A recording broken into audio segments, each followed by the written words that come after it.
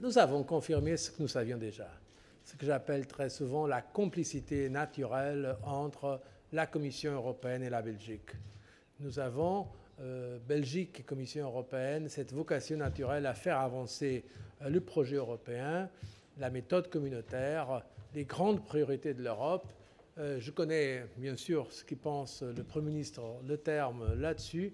Je suis convaincu qu'on va développer un rapport très constructif pour faire avancer le projet commun pour notre Europe. C'est en, voisin presque que je vous rends visite. Ça doit faire un kilomètre environ de mon bureau à votre bureau, mais il faut quand même qu'on se voit et qu'on se parle pour éviter que, bon, néanmoins, les un kilomètre, qu'on deviennent des, voisins qui se ne parlent pas assez pour faire progresser les choses. J'ai appris aujourd'hui une bonne nouvelle, j'ai appris une bonne chose tout à l'heure, euh, c'est que le gouvernement a reçu la confiance du Parlement belge au jour de l'anniversaire du président de la Commission. Donc c'est un bon présage quand on voit ce qu'il en est devenu de, M. Barroso. Je crois que le gouvernement a un, grand avenir.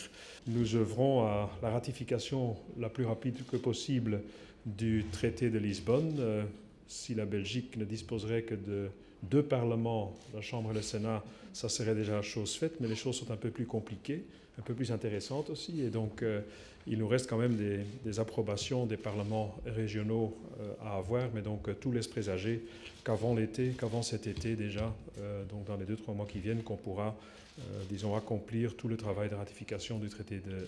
Ik denk dat we daar rustig moeten over nadenken en wat ons betreft in samenspraak met de Europese instanties, uh, uiteraard in een besluitvorming waar België zijn deel zal hebben, maar ook zal moeten luisteren naar andere lidstaten, zijn wij bereid om dergelijke doelstelling opnieuw tegen het licht te houden. Ik denk wel dat wij op vlak van uh, de Kyoto-doelstellingen, daar moeten wij onverbiddelijk streven naar de realisatie van deze doelstellingen. Ce que nous voulons en Europe, enfin, ce que nous avons décidé, jusqu'à changement de position, c'est ce que nous avons décidé à l'unanimité au Conseil européen, c'est d'avoir une politique pour des biocarburants soutenables.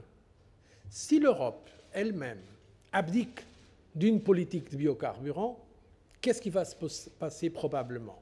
On va continuer avec la prolifération, euh, je ne veux pas dire sauvage parce que c'est un mot très fort, mais avec la prolifération non réglementée de biocarburants que dans certains cas ne seront pas du tout soutenables. Donc nous travaillons déjà à la deuxième ou troisième génération pour le biocarburant. Nous attendons maintenant les décisions de la Cour constitutionnelle belge. Euh, et je crois qu'on doit effectivement tout d'abord euh, attendre cette euh, décision avant de prendre une autre position, une position plus concrète de la Commission.